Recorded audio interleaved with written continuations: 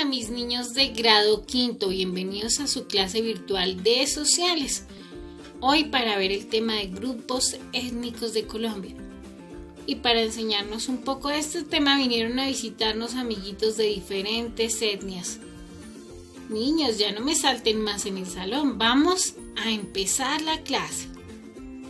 Bueno, entre los grupos étnicos de Colombia tenemos en primer lugar a los mestizos que son el 53.2% de la población. Este mestizaje comenzó cuando los españoles llegaron al territorio americano y por la escasez de mujeres europeas, pues empezaron a buscar a las mujeres nativas de los grupos indígenas y africanos y así se, empezaron a mezclar las razas. Nosotros somos mezcla de mestizos. Somos el resultado de los de la mezcla de los europeos y los indígenas. Somos mestizos. Bueno, luego tenemos los afrocolombianos, que corresponden al 6.75% de la población, incluyendo mulatos, raizales y palenqueras. Pero luego vamos a ver cada uno de ellos. Bueno, enseguida tenemos a los blancos o caucásicos, que es eh, principalmente la ascendencia de españoles y árabes con algunos aportes de italianos, franceses, alemanes y esclavos. Según fuentes externas, la cantidad de blancos en Colombia está entre el 20 y el 37% de la población.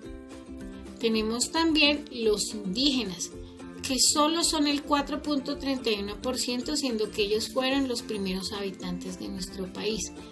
Eh, tras haber sido víctimas de abusos de semiesclavitud, duras condiciones de vida y trabajos forzados, durante los siglos pasados, la Constitución de 1991 les reconoció sus derechos fundamentales y además ratificó el convenio de 1169 de la OIT para regular internacionalmente sus derechos y ellos tienen sus propios resguardos y sus propias leyes. Bueno, también tenemos a los mulatos, que se llaman eh, seres humanos nacidos de la unión entre una persona blanca y una persona negra. En el caso de Colombia, los mulatos surgieron de la mezcla de los españoles, italianos, franceses, alemanes y los negros traídos de África. también están los zambos, el mestizaje de una persona negra con una persona indígena americana dio origen a los zambos. También tenemos la población rum o gitanos, que según el DANE, eh, el 94% de estas personas residen en ciudades como Cumpanais, Barranquilla, Cartagena, Cali, Cúcuta, Girón e Ipiales. Ellos todavía están muy arriesgados, arraigados también a sus costumbres gitanas. Y otros, otros pobladores de Colombia eh, son los que emigran inmigran a nuestro país, perdón, debido a la difícil situación económica o a problemas políticos o sociales o al gran atractivo turístico de Colombia, pues se han radicado en nuestro país en un gran número, sobre todo ahorita, de venezolanos y otros pequeños grupos de origen árabe, musulmán y judíos, entre otros. Aquí en las fotografías vemos a los venezolanos, la mayoría entrando por el puente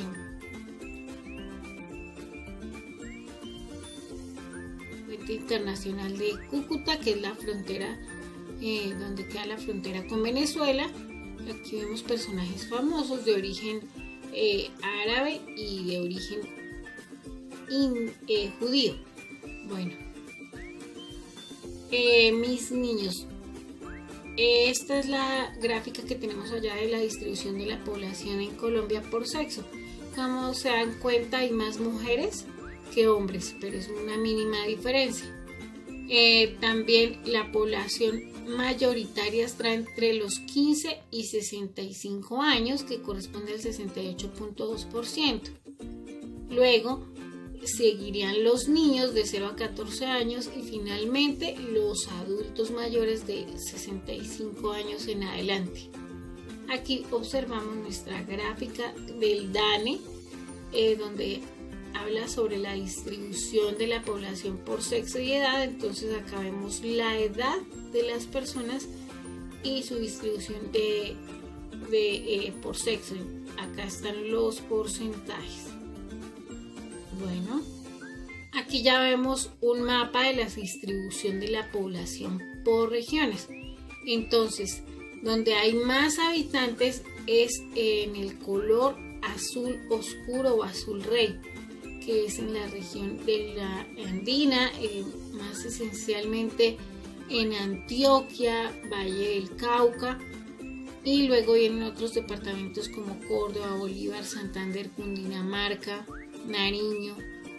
Y así el color verde pues es donde hay un poquito menos de población que en esos departamentos como Boyacá, Meta, Tolima, Huila, Norte de Santander. Viene luego el color amarillo con todavía menos habitantes que es el Chocó, está en el Chocó, Casanare, Arauca, Caquetá, Putumayo y ya con el color rojo están las áreas que tienen menos habitantes que son eh, serían las islas de San Andrés y Providencia pues por su extensión es pequeña eh, tiene pues pocos habitantes y toda la parte de la selva amazónica y parte de la región de la Orinoquía Finalmente está el mapa de la distribución de la población indígena en Colombia, entonces vemos que la mayoría se ubica en la región amazónica, parte de la región de la Orinoquía, poca en la región caribe, eh, específicamente está en la Guajira, eh, y eh, alguna en la región del Pacífico. Listo mis niños, esto es todo por hoy. Ustedes continúen practicando con las actividades de la guía yo voy a seguir saltando acá con mis niños visitantes. Chao, los quiero mucho.